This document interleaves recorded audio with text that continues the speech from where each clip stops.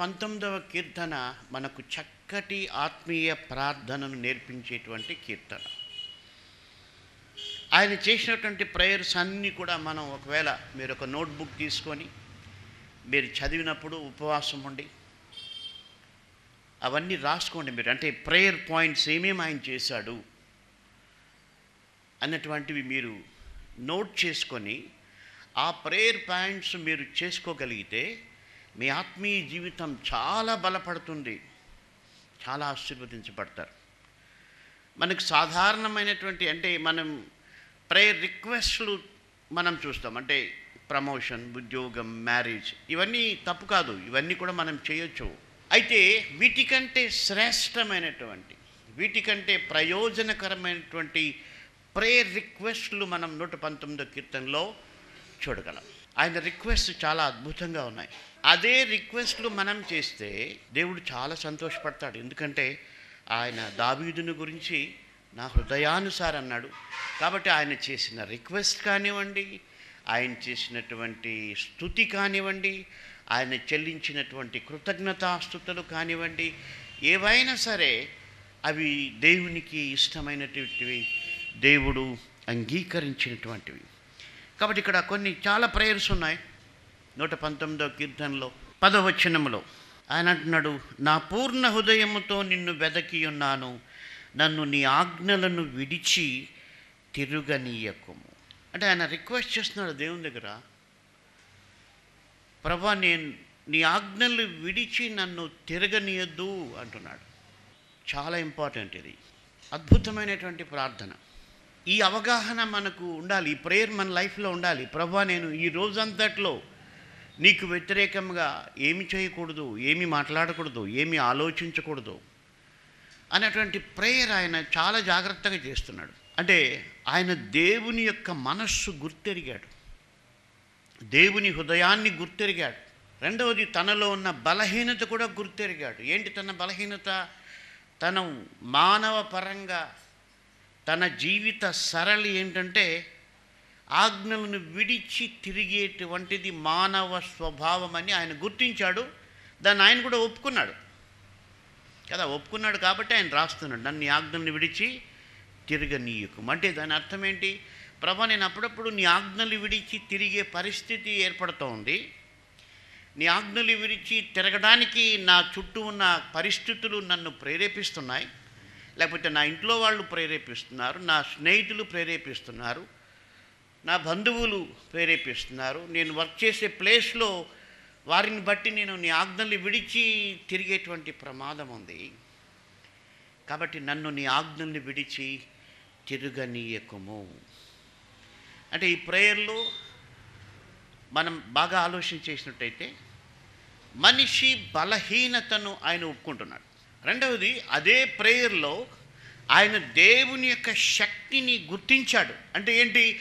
దేవుడు దీన్ని మార్చగలడు. ఏంటి? నా జీవిత విధానాన్ని దేవుని ఆజ్ఞలు విడిచి తిరిగేటువంటి నా జీవితాన్ని దేవుని ఆజ్ఞలు విడిచి తిరగకుండా దేవుని ఆజ్ఞలు గైకునేటువంటి వ్యక్తిగా ఆయన నన్ను మార్చగలడు అని గుర్తించాడు. హెబ్రి పత్రిక ఒకసారి మనం చూసినట్టయితే పదకొండవ అధ్యాయంలో మనం దేవుణ్ణి నమ్మినప్పుడు ఎలా నమ్మాలి? లేకపోతే ఏమని నమ్మాలంటే అక్కడ మనం చూసినట్టయితే ఆరో వచనం. విశ్వాసము లేకుండా దేవునికి ఇష్టడై ఉండుట అసాధ్యము. ఈ మాట గమనించండి. దేవుని ఎద్దకు వచ్చువాడు ఆయన ఉన్నాడనియు తన్ను వెదకి వారికి ఫలము దయచేయువాడనియు నమ్మవలను గదా. కాబట్టి ఇక్కడ దేవుడు ఫలము అనుగ్రహించేటువంటి వాడు. ఆయనకి ఇష్టమైన ప్రేయర్స్ చేస్తే దేవుడు తప్పక సహాయం చేస్తాడన్నటువంటి ఒక నమ్మకంతో మనం దేవుణ్ణి ప్రార్థన చేయాలి. ఇక్కడ అదే భక్తుడు చెప్తున్నాడు ప్రభా నాయను నీ ఆజ్ఞని విడిచి తిరిగేటువంటి స్వభావం నాకుంది. అయితే విడిచి తిరగకుండా చేసే శక్తి నీకుంది. నాకు ఈ బలహీనత ఉంది. అయితే ఆ బలహీనతను జయించే శక్తి నీ దగ్గర నాకు దొరుకుతుంది. అది ఆ ప్రేయర్లో ఉన్నటువంటి ఒక గొప్ప అర్థం. కాబట్టి మనం ప్రతిరోజు కూడా ఈ ప్రేయర్ చేయాలి. మనం ప్రతిరోజు ఒకటి ప్రేయర్ చేస్తాం. ఏంటంటే ఏమి అపాయం రాకుండా లేకపోతే వైరస్ ఉన్నప్పుడు వైరస్ తగలకుండా మనం ప్రేయర్ చేస్తాం. ఎందుకు ప్రేయర్ చేస్తున్నామంటే అపాయం ఉంది కాబట్టి ప్రమాదం ఉంది కాబట్టి వైరస్ ఉంది కాబట్టి. అయితే దావీది కూడా ఈ ప్రేయర్ ఎందుకు చేస్తున్నాడంటే అలాంటి ఆ భావన మనం చూసినట్టయితే ఆయన ఈ ప్రేయరు అంత దీనంగా చేయడానికి కారణం ఏంటంటే ఆయన ఒక విషయం మళ్ళీ చెప్తున్నాడు.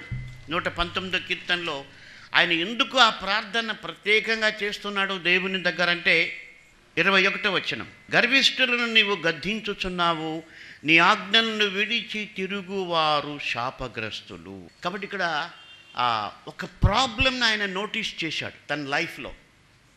అది మనం నోటీస్ చేయాలి. తన లైఫ్లో దావీదు తెలుసుకున్న ఒక సత్యం ఏమిటంటే దేవుని ఆజ్ఞను విడిచి తిరగడం శాపగ్రస్తమైంది. కాబట్టి దేవుని యొక్క ఆజ్ఞను వ్యతిరేకించటం ఆజ్ఞాతి క్రమము చేయటం వాక్యానికి అతీతంగా జీవించటం ఒక శాపగ్రస్తమైనటువంటి జీవితం అని ఆయన గుర్తించి అందుకే చెప్తున్నాడు ప్రభా నన్ను నీ ఆజ్ఞను విడిచి తిరగనీయద్దు. ఆయన అంటున్నాడు నీ ఆజ్ఞలను విడిచి ఒక మనిషి తిరిగితే ఆ మనిషి జీవితం శాపగ్రస్తమైపోతుంది. నీ ఆజ్ఞలను విడిచి ఒక మనిషి తన లైఫ్లో డెసిషన్స్ తీసుకుంటే ఆ వ్యక్తి జీవితం శాపగ్రస్తమైపోతుంది. కాబట్టి ప్రభా నువ్వు అలా చేయనీయద్దు.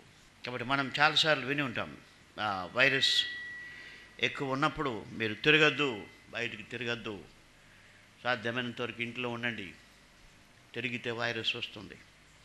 అయితే ఇక్కడ దావీదు చెప్తున్నాడు ఆయన ఆజ్ఞలు విడిచి తిరిగితే ఆత్మ సంబంధమైన భయంకరమైన వైరస్ ఉంది అది శాపగ్రస్తమైంది అది వ్యక్తిని కుటుంబాన్ని సమాజాన్ని సమస్తాన్ని కూడా శాపగ్రస్తం చేస్తుంది. కాబట్టి ఆ యొక్క ప్రాబ్లంని ఆయన గుర్తించినప్పుడు జాగ్రత్త పడుతూ ప్రార్థన చేస్తున్నాడు. కాబట్టి మన లైఫ్లో ఇది తెలుసుకోవాలి ఏంటంటే మనము దేవుని వాక్యానికి వ్యతిరేకంగా ఏం చేసినా ఏం ఆలోచించినా ఏం మాట్లాడినా దాని యొక్క రిజల్ట్ నెగిటివ్గా తప్పకుండా ఉంటుంది. దానికైనా మనం భయపడాలి. అసలు దేవుని పట్ల గౌరవంతో మనం దేవుని చిత్తానుసారంగా బ్రతకడం నేర్చుకోవాలి. That is a very good standard లేదు నీకు అంత బుద్ధి లేకపోతే కనీసం అరే మనం దేవుని వాక్యానికి వ్యతిరేకంగా జీవిస్తే ఈ కష్టం వస్తుంది ఈ నష్టం వస్తుంది ఈ శాపం వస్తుంది అనైనా మనకు ఒక అండర్స్టాండింగ్ ఉండాలి.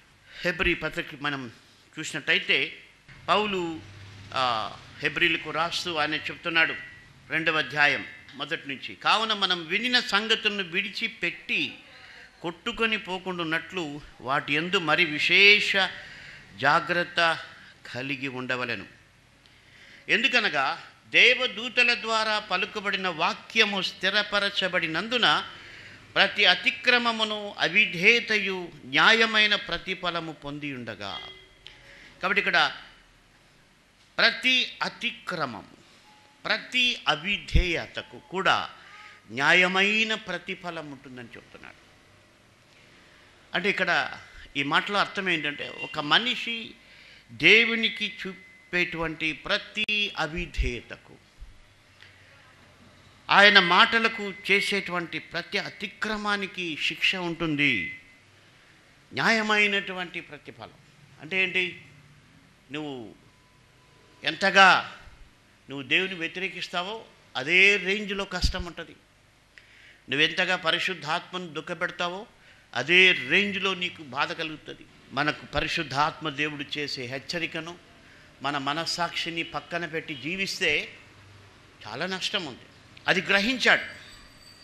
అందుకొరకే ఆయన చక్కటి ప్రార్థన చేశాడు. ప్రభా నన్ను నీ ఆజ్ఞను విడిచి తిరగనీయద్దు. ఎందుకంటే తిరిగితే నాకు నష్టం. నేను అనుభవించానని ఆయన చెప్తున్నాడు. దావీదు లైఫ్లో ఆయన అనుభవించాడు. ఒక సందర్భంలో ఆయన దేవుని యొక్క ఆజ్ఞ విడిచి తిరిగి చాలా నష్టపోయాడు. వ్యక్తిగతంగా కుటుంబపరంగా రాజ్యపరంగా అన్ని ఇబ్బందులు ఎదుర్కొన్నాడు ఆయన. ఇంట్లో సమస్యలు వచ్చాయి రాజ్యంలో సమస్యలు వచ్చాయి మనుషులతో సమస్యలు వచ్చాయి. ఏంటి కారణం అంటే ఒక్కసారి ఆయన దేవుని ఆజ్ఞ విడిచి తిరిగాడు. దానివల్ల ఎన్నో కష్టాలు వచ్చాయి. అందుకొరకే తన జీవిత అనుభవంలో దావీదు ఆ యొక్క నూట పంతొమ్మిదవ కీర్తనలో రాసిన మాట ఏంటంటే ప్రభా ఇంకా చాలు. ఇంకా నేను నీ ఆజ్ఞలు విడిచి తిరగకూడదు. తిరిగితే చాలా కష్టం ఉంది చాలా నష్టం ఉంది ప్రభా నేను నా లైఫ్లో చూశాను. మళ్ళీ నాకు ఆ కష్టం వద్దు మళ్ళీ నాకు ఆ- యొక్క పీస్ లేనటువంటి జీవితం నాకు వద్దు కాబట్టి నన్ను అసలు నువ్వు తిరగనీయద్దు. అంటే దేవునికి టోటల్ సరెండర్ అయిపోతున్నాడు ఆయన. ప్రభా నువ్వు నన్ను కంట్రోల్ చేయి. నన్ను అట్లా తిరగనీయద్దు. అలాంటి సిచ్యుయేషన్ నా లైఫ్లో రాకుండా మీరు సహాయం చేయి. అని ఆయన ప్రార్థన చేస్తున్నాడు. ఎంత చక్కటి ప్రార్థన. మనం చాలాసార్లు తిరిగేసి నష్టపోయి దేవుని దగ్గర మొరపెడతాం కదా ప్రభా. కానీ దావీదు తన లైఫ్లో ఒక లెసన్ నేర్చుకున్నాడు ఏంటంటే ఇంకా నేను అట్లా చేయకూడదు. ఎందుకంటే చాలా కష్టం చాలా బాధలు పడ్డాడు మనకు తెలుసు. ఆయన ఎంత బాధలు పడ్డాడు. దేవుని ఆజ్ఞ ఒక్కసారి విడిచి తిరిగినందుకు ఎంత కష్టాలు పడ్డాడు. కుటుంబంలో కొడుకు వ్యతిరేకమయ్యాడు. రాజ్యంలో ఉన్నారు వ్యతిరేకమైపోయారు. రాజ్యం వదిలిపెట్టి పోవాల్సి వచ్చింది. ఆయన్ని దూషిస్తున్నారు. ఆయన్ని శపిస్తున్నారు. కొండల్లో అడవుల్లో ప్రతి రాత్రి ఎంతో భయంతో గడిపేటువంటి జీవితాలు. అందుకొరకే ఒక్క మాటలో దావీదు చెప్పేస్తున్నాడు. ఏంటంటే నీ ఆజ్ఞలు విడిచి తిరిగేవారు శాపగ్రస్తులు. చాలా కష్టం ఉంది చాలా నష్టం ఉంది కాబట్టి ప్రభా నాకు అలాంటిది నువ్వు చేయొద్దు. నన్ను తిరగనీయద్దు. అవును నాకు తిరిగే స్వభావం ఉంది. అందుకని నువ్వే నన్ను తిరగకుండా సహాయం చేయి. కాబట్టి అది అద్భుతమైనటువంటి ప్రేయర్. దేవుడు తప్పక సహాయం చేస్తాడు మనకు. అంటే ఏంటి?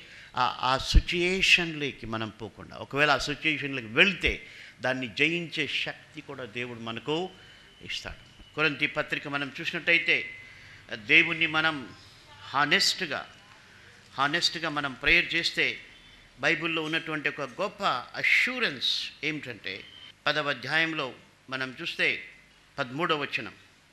సాధారణముగా మనుషులకు కలుగు శోధన తప్ప మరి ఏదియూ మీకు సంభవింపలేదు. దేవుడు నమ్మదగినవాడు. మీరు సహింపగలిగినంత కంటే ఎక్కువగా ఆయన మిమ్మను శోధింపబడనీయడు. అంతేకాదు సహింపగలుగుటకు ఆయన శోధనతో కూడా తప్పించుకున్న మార్గమును కలుగ చేయును. కాబట్టి ఇక్కడ దేవునికి మనం టోటల్ కమిట్మెంట్ అవుతే ఒక గొప్ప అష్యూరెన్స్ ఏంటంటే మనకు సహించలేనటువంటి శోధన ఆయన రానివ్వడు. ఒక రకంగా మనం మన వాక్యంలోకి వెళ్తే ఆయన ఆజ్ఞలు విడిచి తిరిగే పరిస్థితిని రానీయడు ఆ వాక్యానికి మనం ఈ వాక్యం కనెక్ట్ చేసుకున్నట్టయితే మనం దేవునికి హానెస్ట్గా ప్రేయర్ చేసినప్పుడు ఆయన ఆజ్ఞలు విడిచి తిరిగేటువంటి పరిస్థితి మనకు రానివ్వడు. ఒకవేళ వస్తే దాన్ని తప్పించుకునేటువంటి మార్గము కూడా ఆయన కలుగు చేస్తాడు. కాబట్టి మనకు కావాల్సింది హానెస్ట్ ప్రేయర్ అందుకని దావీదు నీ ఆజ్ఞను విడిచి తిరుగువారు శాపగ్రస్తులు కాబట్టి నన్ను నీ ఆజ్ఞను విడిచి తిరగనీయకము. కాబట్టి అండర్స్టాండింగ్ మనకు కావాలి. కాబట్టి ఆయన ఆజ్ఞలు నేర్చుకోవాలి. కాబట్టి we should know the word of God దేవుని వాక్యం తెలుసుకోవాలి. ఏదేది చేస్తే మనం ఆజ్ఞ విడిచి తిరిగిపోతాం? అసలు దేవుని ఆజ్ఞలు ఏంటి యేసుప్రభు ఏం చెప్పాడు? ఆయన చెప్పిన మాటలు ఏంటి ఆ మాటలు నేను విడిచి తిరుగుతున్నానా? ఉంచుకుని తిరుగుతున్నానా? పాటిస్తూ తిరుగుతున్నానా? విడిచి తిరిగితే నో డౌట్ నష్టం ఉంది కష్టం ఉంది అయితే అనుసరించి నడిస్తే గొప్ప నెమ్మది గొప్ప సమాధానం ఉంది. కాబట్టి అది మనకు ఒక కన్ఫర్మ్ మన మైండ్లో ఇది నాటుకొని పోవాలి. ఏంటంటే నేను వాక్యానికి వ్యతిరేకంగా జీవిస్తే ఆలోచిస్తే మాట్లాడితే ప్రవర్తిస్తే తప్పక దాని యొక్క ప్రభావము ఉంటుంది. కాబట్టి నేను అలా చేయకూడదు. ఒకవేళ అలా చేయాలన్నటువంటి బలహీనత ఉంటే ప్రభా అలా చేయకుండా సహాయం చేయమని దేవుని దగ్గర మనం ప్రార్థన చేయొచ్చు. ఆయన దయగల దేవుడు ఆయన చిత్తమైనవి అడిగినప్పుడు ఆయన తప్పకుండా మనకు సహాయం చేస్తాడు. అయితే మనం పట్టుదలతో దేవుణ్ణి అడగాలి. అలాంటి విషయాలు అడగాలి. అప్రూవ్డ్ చేశారు కాబట్టి తప్పకుండా దేవుడు సహాయం చేస్తాడు. దేవుడు అప్రూవ్ చేయనివి నువ్వు ఎంత గట్టిగా ప్రార్థన చేసినా అది దేవుడు ఇవ్వకపోవచ్చు. మనం దేవుని వాక్యాన్ని నేర్చుకోవాలి. మన కోరికను బైబిల్ అప్రూవ్ చేస్తుందా? కాబట్టి దావీదు నేర్చుకున్నాడు తన లైఫ్లో. ఇస్రాయిల్ చరిత్ర ఆయన మనం చూసినట్టయితే వాళ్ళ చరిత్రలో మనం ఒకటి నేర్చుకోవాలి. బైబిల్ చెప్తుంది వారు దేవుణ్ణి శోధించి అడిగారు ఇదే కావాలి ఇదే కావాలి ఇదే కావాలి. బైబిల్ చెప్తుంది నూట ఐదు నూట ఆరు నూట ఏడు ఆ కీర్తనలంతా కూడా ఇస్రాయిల్ దేవుణ్ణి వెంబడించిన సందర్భాలు ఉన్నాయి అక్కడ రాయబడింది వారు కోరినది కోరినది దేవుడు వారికి దయచేసను కానీ వారి ప్రాణములకు క్షీణత కలుగజేసిందని ఉంది. కాబట్టి కొన్నిసార్లు మన డిజైర్స్ మనకు మేలుగా ఉండవు అవి మేలుగా అప్పుడు కనిపిస్తాయి. అదే దేవుని చిత్తం కాకపోతే దేవుని వాక్యానికి అతీతమైతే ఎండ్ ఆఫ్ ద డే అంటే లాస్ట్లో దాని రిజల్ట్ ఏంటంటే ఏడుపులు కేకలు. అందుకని దావీదు తన లైఫ్లో ఒకసారి పొరపాటు చేశాడు. మళ్ళా అంటున్నాడు ప్రభా నన్ను తిరగనివద్దు నేను ఈ మార్గంలో పోతున్నాను. ఒకవేళ ఈ మార్గంలో నాకు అపాయం ఉంటే నన్ను ఈ మార్గంలోనే పంపించొద్దు. So direct my steps please అంటున్నాడు. ఎందుకంటే దానివల్ల చాలా డేంజర్ ఉంది. కాబట్టి ఈ వాక్యం వింటున్నటువంటి మీరు ఆన్లైన్లో ఎవరైనా సరే ఒక్కటి గుర్తుపెట్టుకోవాలి. దేవుని వాక్యానికి వ్యతిరేకంగా నువ్వు చేసే ప్రతి డెసిషన్ ప్రతి ఆలోచన ప్రతి మాట దానివల్ల నష్టం ఉంది. దావిది అదే అంటున్నాడు నన్ను తిరగనివద్దు ప్రభా ఎందుకంటే తిరిగితే శాపగ్రస్తమైనటువంటి పరిస్థితి. కాబట్టి ఆ ప్రార్థన మనం నేర్చుకోవాలి. దేవుని కట్టడలు నేర్చుకోవాలి. అది చాలా ప్రాముఖ్యమైనది. అందుకే ఈ సంవత్సరంలో మేము ఒక కొత్త ప్రోగ్రామ్ ఇంట్రొడ్యూస్ చేస్తున్నాం. డెబ్భై వాక్యాలని పెట్టాం. అంటే ఆన్లైన్లో యూట్యూబ్లో డెబ్భై వాక్యాలు నేర్చుకున్న వాళ్ళకి గిఫ్ట్ ఇస్తామని చెప్పాం. కానీ చాలామంది కొంతమంది నేర్చుకున్నారు కానీ చాలామంది నేర్చుకోలేదు. అయితే దాన్ని ఇంకొంచెం తగ్గించి ఇప్పుడు ఈ ఇయర్ నుంచి ముప్పై వాక్యాలు నేర్చుకున్న వాళ్ళకి మరి సేవకులైతే థౌజండ్ రూపీస్ విశ్వాసులైతే ఐదు వందల రూపాయలు గిఫ్ట్ బైబిల్ ఫౌండేషన్ ద్వారా ఇవ్వాలనుకున్నాం. ముఖ్య ఉద్దేశం ఏంటంటే దేవుని వాక్యం నేర్చుకుంటే నీకు దేవుని పట్ల భయం పుడుతుంది దేవుని పట్ల భయభక్తులు కలుగుతాయి. రెండోది నీ ఆత్మీయ జీవితము బలపడుతుంది. కాబట్టి మన చర్చిలో వాళ్ళు ముఖ్యంగా నేర్చుకోవాలి. కాబట్టి ఈ వాక్యాలు నేర్చుకోండి. ఈ ప్రోగ్రాం చూస్తున్న వాళ్ళు కూడా ఇవి నోట్ చేసుకొని ఈ ముప్పై వాక్యాలు మీరు వారం లోపల కంఠపాఠం చేయొచ్చు. చాలా మంచి మాటలు అక్కడ మనం చూస్తాం. అంటే ఎందుకు ఈ వాక్యాలు సెలెక్ట్ చేసామంటే ఇవి మన స్పిరిచువల్ లైఫ్కి చాలా సహాయం చేస్తాయి. మన నడవడిని క్రమపరుస్తాయి. మన ఆలోచన విధానాన్ని మలుస్తాయి. మొట్టమొదటి ప్యాసేజ్ ఏంటంటే దశలోనికి రాసిన మొదటి పత్రిక ఐదవ అధ్యాయం పదహైదు నుంచి ఇరవై రెండు వరకు. ఇక్కడ ఎనిమిది వచనాలు ఉన్నాయి. అంటే ఇవి చాలా పిల్లలు కూడా నేర్చుకోవచ్చు. అందుకొరకు ఇవి సెలెక్ట్ చేసాం ఎవడను కీడునకు ప్రతి కీడు ఎవనికైనను చేయకుండా చూచుకొనుడి. మీరు ఒక నీడల ఒకడును మనుష్యులందరి ఎడలను ఎల్లప్పుడూ మేలైన దానిని అనుసరించి నడుచుకొనుడి. ఎల్లప్పుడూ సంతోషముగా ఉండుడి. ఎడతెగక ప్రార్థన చేయుడి. ప్రతి విషయమునందును కృతజ్ఞతాస్థుతులు చెల్లించుడి. ఇలాగు చేయుట యేసుక్రీస్తునందు మీ విషయములో దేవుని చిత్తము. ఆత్మను ఆర్పకుడి ప్రవచించుటను నిర్లక్ష్యము చేయకుడి. సమస్తమును పరీక్షించి మేలైన దానిని చేపట్టుడి. ప్రతి విధమైన కీడునకును దూరముగా ఉండుడి. కాబట్టి ఈ వాక్యాలు కంఠాపాఠం చేస్తే మనకి ఈ పాయింట్స్ అన్నీ కూడా మన మైండ్లో ఉండాలి. అంటే కీడుకు దూరంగా ఉండాలి. అందరితో సమాధానంగా ఉండాలి. ఎడతెగక ప్రార్థన చేయాలి. కృతజ్ఞతాస్థుతులు చెల్లించాలి. ఆత్మను ఆర్పకూడదు. ఇవన్నీ కూడా మన హృదయంలోకి ఎప్పుడు నాటుకుంటాయంటే కంఠాపాఠం చేస్తే నాటుకుంటాయి.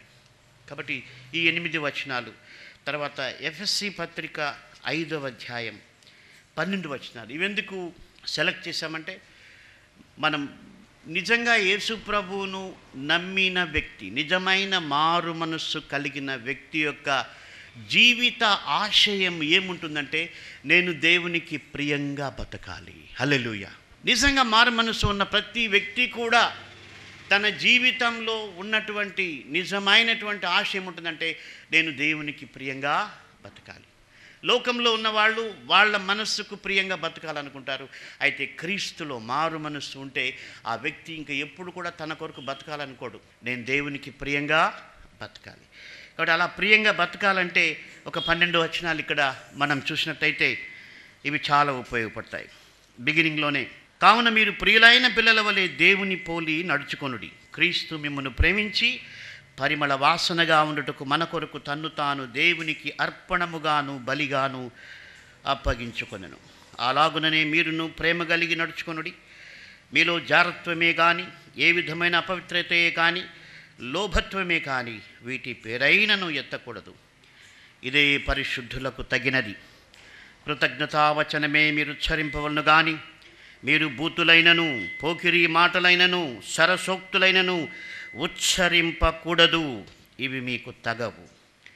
వ్యభిచారైనను అపవిత్రుడైనను విగ్రహారాధికుడైన లోభి అయినను క్రీస్తు యొక్కయు దేవుని యొక్కయు రాజ్యమునకు హక్కుదారుడు కాడను సంగతి మీకు నిశ్చయముగా తెలియను. వ్యర్థమైన మాటల వలన ఎవడును మిమ్మను మోసపరచనీయకుడి. ఇట్టి క్రియల వలన దేవుని ఉగ్రత అవిధేయులైన వారి మీదికి వచ్చును. గనుక మీరు అట్టి వారితో పాలివారై ఉండకుడి. మీరు పూర్వమందు చీకటి అయింటిరి ఇప్పుడైతే ప్రభునందు వెలుగై ఉన్నారు. వెలుగు ఫలము సమస్త విధములైన మంచితనము నీతి సత్యమను వాటిలో కనబడుచున్నది. గనుక ప్రభువుకేది ప్రీతికరమైనదో దానిని పరీక్షించుచు వెలుగు సంబంధుల వలె నడుచుకొనుడి. నిష్ఫలమైన అంధకార క్రియలలో పాలివారయుండక వాటిని ఖండించుడి. ఎలైనగా అట్టి క్రియలు చేయువారు రహస్యమందు జరిగించు పనులను గూర్చి మాటలాడుట అయినను అవమానకరమై ఉన్నది కాబట్టి దేవునికి ప్రియులైన పిల్లలుగా ఎలా జీవించాలి అంటే ఏమేం మాట్లాడకూడదు? ఎలాగో కృతజ్ఞత చెప్పాలి? ఎవరితో సహవాసం చేయకూడదు? అన్నీ కూడా చాలా చక్కగా మనం చూస్తాం ఆ యొక్క పన్నెండు వచనాలు. మూడవ భాగం ఏంటంటే యోహాను రాసినటువంటి మొదటి పత్రిక ఒకటవ అధ్యాయం ఒకటి నుంచి పది వచనాలు.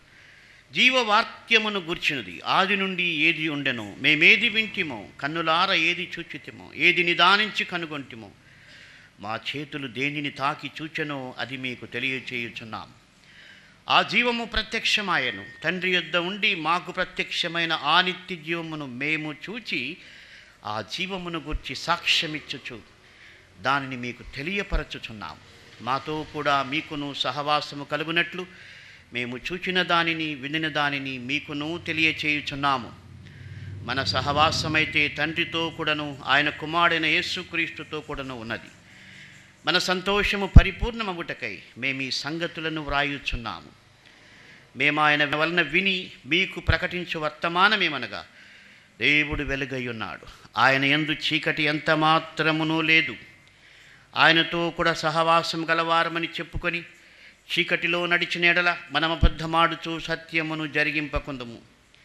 అయితే ఆయన వెలుగులోనున్న ప్రకారము మనమును వెలుగులో నడిచిన ఎడల మనం అన్యోన్య సహవాసము గలవారై అప్పుడు ఆయన కుమారుడైన యేసు రక్తము ప్రతి పాపము నుండి మనల్ని పవిత్రనుగా చేయును. మనము పాపము లేని వారమని చెప్పుకునేలా మనల్ని మనమే మోసపుచ్చుకుందము. మరియు మనలో సత్యముండదు. మన పాపములను మనము ఒప్పుకుని ఎడల ఆయన నమ్మదగిన వాడును నీతిమంతుడును గనుక ఆయన మన పాపములను క్షమించి సమస్త దుర్నీతి నుండి మనలను పవిత్రులుగా చేయును. మనము పాపము చేయలేదని చెప్పుకుని నేడల ఆయనను అబద్ధికునిగా చేయువారమగుదుము. మరియు ఆయన వాక్యము మనలో ఉండదు. కాబట్టి ఇక్కడ యేసు ప్రభు యొక్క వాక్యంతో సహవాసం చేసి మనలో ఉన్నటువంటి పాపాలు తెలుసుకొని క్షమాపణ పొంది దేవుని కొరకు జీవించడానికి ఈ వాక్యాలు ఉపయోగపడతాయి. కాబట్టి వాక్యం కంఠాపాఠం చేసే వాళ్ళకి ప్రధానమైనటువంటి సూచన ఏమిటంటే రాస్తే మైండ్లోకి వెళ్తాయి. చదివితే ఇసుక పైన రాసినట్టు. అంటే ఎక్కువసేపు ఉండదు. అయితే మనం చేత్తో బుక్ పైన రాసినట్టయితే అది మన చేయికి మన మైండ్కి కనెక్షన్ ఉంటుంది. కాబట్టి మనలో ఒక ఇంప్రెషన్ ఏర్పడుతుంది. కాబట్టి మీరు రాస్తే నాకు తెలిసి కంఠాపాఠం చేయమంటే మొట్టమొదట మనుషులు చెప్పేది ఏంటంటే నాకంత జ్ఞానం లేదు అంటారు. అయితే గ్యారంటీ ఏమిటంటే ఒక వాక్యం ఇరవై సార్లు రాస్తే ఎంత జ్ఞానం లేనికైనా మైండ్కి ఎక్కిపోతుంది.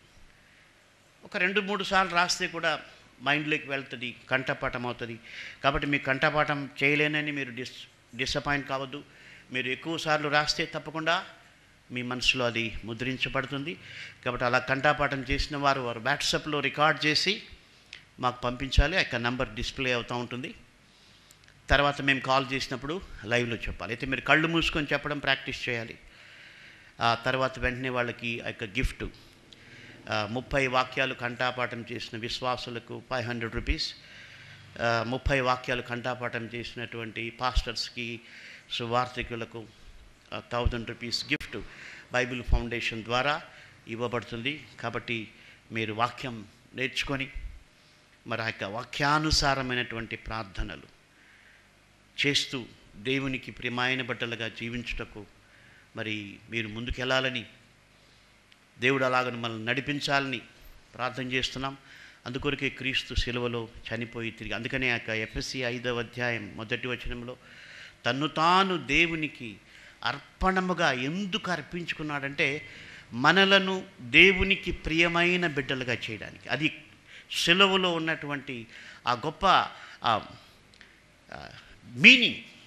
చాలాసార్లు మనం అనుకుంటాం ఆయన మన పాపాలు క్షమించడానికి చనిపోయినాడు. అవును కానీ అంతకంటే డీపర్ మీనింగ్ ఏంటంటే మన పాపాలు క్షమించడం మాత్రమే కాదు మన జీవితాలు ఆ దేవునికి ప్రియముగా జీవించట కొరకు కూడా క్రీస్తు సెలవులో చనిపోయి తిరిగి లేచాడు. కాబట్టి నీ జీవితం ప్రియమైందిగా మారడానికి క్రీస్తు నీలో ఉండాలి ఆయన వాక్యం నీలో ఉండాలి. కాబట్టి క్రీస్తు వాక్యాలు కూడా మీరు కంఠాపాఠం చేయండి. దేవుడు మిమ్మను దీవించునుగాక. ప్రార్థించుకుందాం. దయగల ప్రభా మిమ్మల్ని స్థుతిస్తూ ఉన్నాం. అవును తండ్రి మేము చాలాసార్లు మా మనస్సుకు వచ్చిన ప్రార్థనలే చేస్తున్నాం. మా అవసరతల కొరకే చేస్తున్నాం. అయితే మా ప్రభా మేము వాక్యానుసారమైన ప్రార్థనలు చేయాలి. దావీదు జీవితంలో అది చూస్తున్నాం. ఆయన వాక్యం చదివాడు. మీ ఆజ్ఞలు విడిచి తిరిగితే వచ్చే నష్టం కష్టం దుఃఖం చూ తెలుసుకున్నాడు. అందుకే మీ ఆజ్ఞలు విడిచి తిరగనివ్వకమని ప్రార్థన చేశాడు. కాబట్టి మేము కూడా మా ప్రభా మా జీవితంలో మీ ఆజ్ఞలు విడిచి తిరగకుండా మీ వాక్యానికి వ్యతిరేకంగా మాట్లాడకుండా మీ వాక్యానికి వ్యతిరేకంగా ఎలాంటి తీర్మానాలు చేయకుండా సహాయం చేయండి. ఎందుకంటే ప్రభా మీ వాక్యంలో చూసాం హెబ్రి పత్రికలో అలాగూ చేసిన ప్రతిసారి నష్టం ఉంది కష్టం ఉంది అలాగూ చేసిన ప్రతిసారి ఎంతో అసమాధానం ఉంది దుఃఖం ఉంది కాబట్టి దయచేసి ఈ వాక్యం వింటున్న బిడ్డలు మా ప్రభ మిమ్మల్ని హత్తుకొని మీ వాక్యపు శక్తితో అవును తండ్రి దావీదు గ్రహించాడు. అలాగ తిరగనీయకుండా చేసే శక్తి దేవునికుందని ఆయన ఆ యొక్క విజ్ఞాపనలో ఆ యొక్క అర్థం దాగి ఉంది అందుకొరకే మీకు స్తోత్రాలు. కాబట్టి మమ్మను మీ ఆజ్ఞలు విడిచి తిరగనివ్వకుండా మీ వాక్యపులో మమ్మను దీవించమని మీ పరిశుద్ధాత్మతో నడిపించమని ఏసు దయగల నామమున ప్రార్థిస్తున్నాము తండ్రి. ఆమె నా పేరు పద్మజ. ప్రభు యొక్క మహాకృప వలన మరియు నా భర్తగారైన పాస్టర్ గాలి గంగరాజు గారి ప్రేరేపణ వలన పరిశుద్ధ గ్రంథములోని వెయ్యి వాక్యములు కంఠాపాఠము చేసినాను. ప్రభు యొక్క కృప వలన మా పిల్లలందరితో కూడా బైబిల్ వాక్యములు కంఠాపాఠము చేయించినాము. మా ఇద్దరు కుమారులు డేవిడ్ కరుణాకర్ జేమ్స్ కరుణాకర్ మరియు మా కుమార్తెలు గ్రేస్ మెర్సీ బ్యూలా వెయ్యి వాక్యములు కంఠాపాఠం చేసినారు. తల్లిదండ్రులందరూ కూడా బైబిల్ వాక్యములు కంఠాపాఠము చేసి తమ తమ పిల్లలందరితో కూడా బైబిల్ వాక్యములు కంఠాపాఠం చేయించుట గొప్ప ఆశీర్వాదము అట్టి కృపను దేవుడు అందరికీ అనుగ్రహించవలనన్న ఉద్దేశముతో ద బైబుల్ ఫౌండేషన్ సంస్థ స్థాపించ